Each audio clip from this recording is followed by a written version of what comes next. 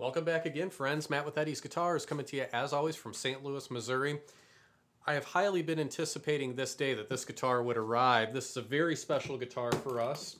Uh, the first of a Eddie's Guitars exclusive run that we've done with Dana Bourgeois called the Fingerstyle Custom Series. Um, beautiful guitars, particularly outfitted for a kind of a delicate, lighter approach, fingerstyle approach and uh, just really uh, we've been very impressed by the first one that we've seen here. This is a JOMC thin body guitar. Um, of course, the JOM, the Jumbo OM, which is an original design from Dana, uh, kind of a, a, blown up OM guitar. Um, 15 and a half inch lower bout here, similar to a Dreadnought, but you can see a much tighter waist and uh, closer proportions to an actual OM guitar, just a little bit bigger. The C, of course, designates the uh, cutaway here, allowing a little bit higher access beyond the 12th and 14th frets. And thin body, uh, the JOM normally is a bit deeper body than a standard OM guitar. This particular one, being a thin body, is the same depth as a standard OM. That gives you a very nice focus in tone as well as great sustain and just uh, adds to the responsive nature of the guitar all of the fingerstyle custom guitars that we've done are all going to be dressed the exact same way from all the aesthetic bindings and, uh, and all the detailings as well as the same tone wood choices. You can see here that we've started with a gorgeous redwood top. Beautiful piece here, very even in color.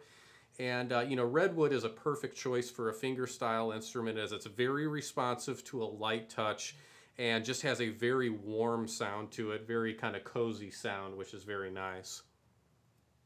The body, the neck, and the headstock are all bound in a super highly flamed koa. Beautiful stuff.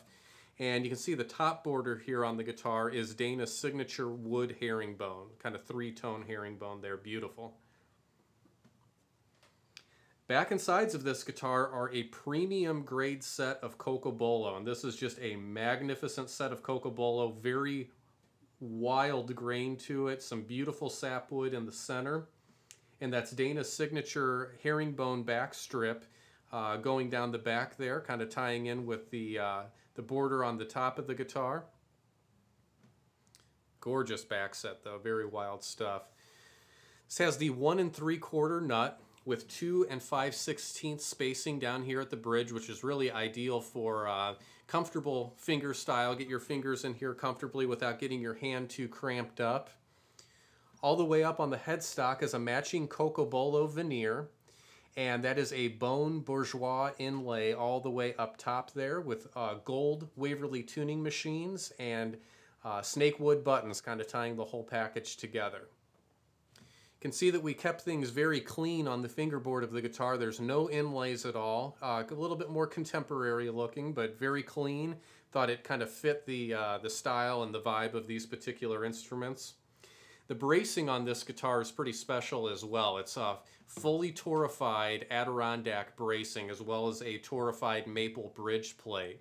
Uh, it's fully scalloped, of course, as well, making for a, a nice response to even the kind of the lightest touch and it has uh, all animal protein glue on the inside, which eventually will dry to be just incredibly hard, incredibly resonant, and it's a very efficient material to use as a binding material in there, uh, as it really is just going to make for a more resonant guitar in the future.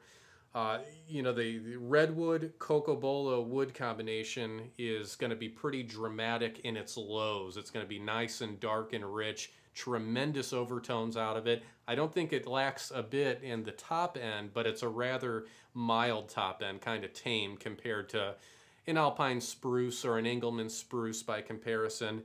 Uh, and again, just great for fingerstyle applications. It'll, it'll take a pick as well, but it's kind of tuned for fingerstyle. Let's go take a listen to that now.